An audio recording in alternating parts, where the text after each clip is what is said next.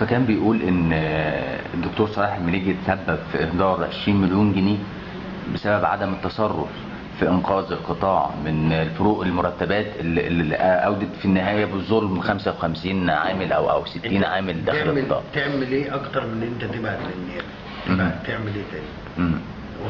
هي فعلا توصل إيه؟ للرقم ده يا دكتور؟ لا أنا ما أعرفش طبعا وبعدين أنا ما هدرتش حاجة لأن مش أنا اللي مطبق ده. ده تعبان في دماغه ما هو ده من ضمن الخلل اللي بقول لك عليه.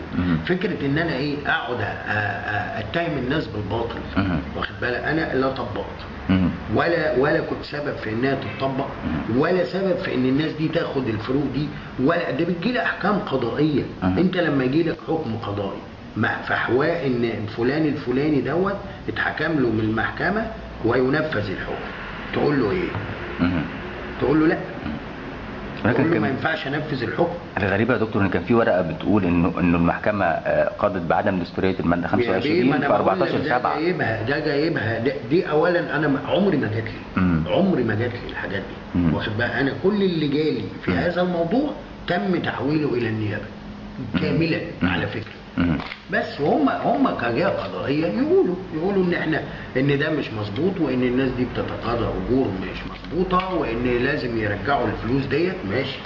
ساعتها نقول لهم أمين. القانون لا يحفل إلا القانون. إنما فكرة إن أنا أنت من نفسك تروح تشيل من واحد موظف وبعدين يرفع عليك قضيه يكسبها في اليوم في نفس اليوم. واخد بالك. ما ينفعش. الجهود يا دكتور جهود العاملين.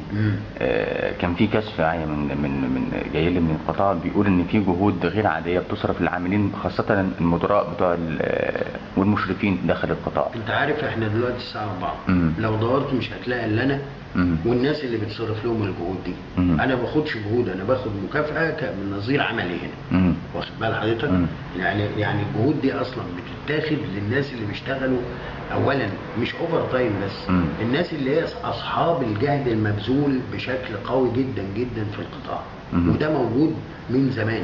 وليه وليه قانون يعني لما طبق طبق بالقانون. مش طبق كده على الهوايه أنا هدي الواحد مش عارف إيه بالرغم إن دي سلطتي. لكن عمري ما عملتها.